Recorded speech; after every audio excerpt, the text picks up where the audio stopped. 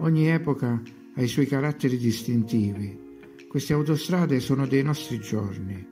Nessuno può pensare che una di queste autostrade sia stata costruita 800 anni dopo le altre. E lo stesso discorso vale per i templi. Non possono esserci stati 800 anni di intervallo fra la costruzione di uno e quella degli altri.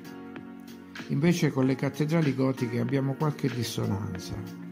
Infatti è scritto che la cattedrale di San Patrizio a New York è stata costruita otto secoli dopo le prime cattedrali, per esempio quella di Sens o Saint-Denis, che risalgono all'anno 1130. E ne troviamo addirittura una in Cina, ben lontana dall'Europa.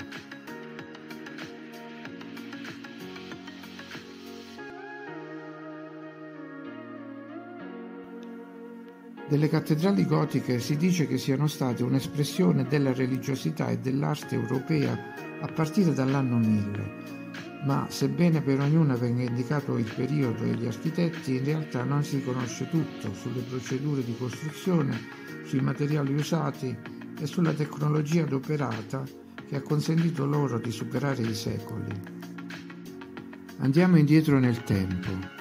Prima dell'anno 1000, che secondo alcune interpretazioni delle scritture avrebbe dovuto precedere la fine del mondo, infatti da qualche parte era scritto mille e non più mille, il panico si era diffuso nelle città e nelle campagne. Sorgevano ordini millenaristici e cortedi flagellanti attraversavano i borghi, cercando di espiare i peccati a furia di frustate mentre c'era chi cercava di esorcizzare la fine spendendo tutti gli averi in continui festini. Poi l'anno 1000 arrivò e non successe niente. Le popolazioni si ripresero dallo spavento e ci fu anche un notevole aumento demografico. Anche nelle campagne ci fu qualche cambiamento. Fu rivoluzionato l'aratro.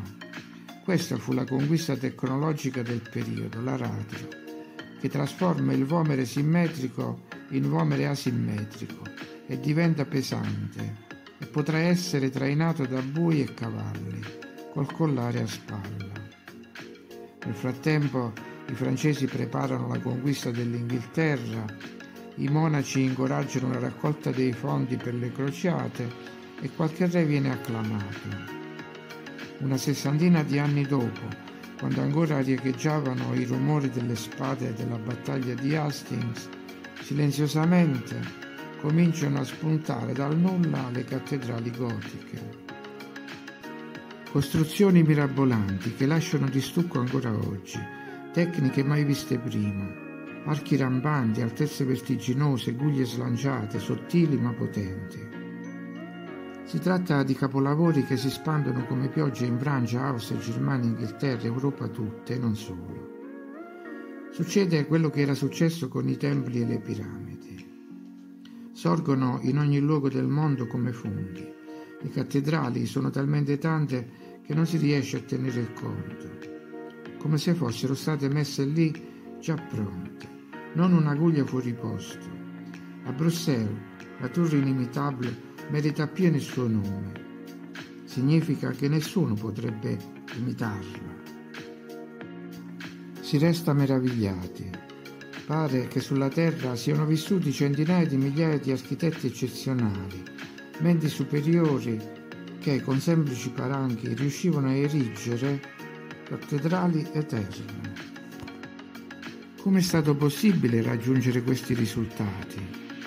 Chi prova a capirci qualcosa di più si trova di fronte a una stratificazione di messaggi, un calderone dove confluiscono cronologie improbabili, artefatti inspiegabili, biografie incredibili.